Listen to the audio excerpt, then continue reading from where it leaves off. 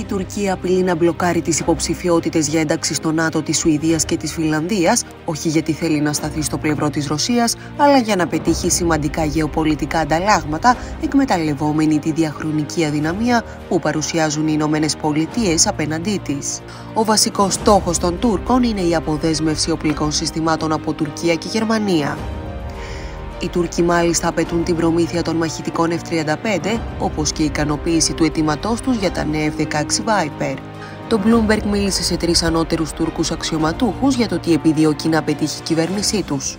Αποκάλυψαν ότι η Τουρκία θέλει να ενταχθεί εκ νέου στο πρόγραμμα των προηγμένων αεροσκαφών 5η γενιάς F-35, από το οποίο αποκλείστηκε αφού αγόρασε συστήματα αντιπυραυλικής άμυνας S-400 από τη Ρωσία έχει επίσης ένα εκρεμές αίτημα προς τις Ηνωμένες Πολιτείες να αγοράσουν δεκάδες πολεμικά αεροσκάφη F-16 και κοίτα αναβάθμισης για τον υπάρχοντα στόλο της συνολικά 80 αεροσκαφών. Επιπλέον η Τουρκία θέλει οι Ηνωμένες Πολιτείες να άρουν τις κυρώσεις για την κατοχή των πυράβλων S-400.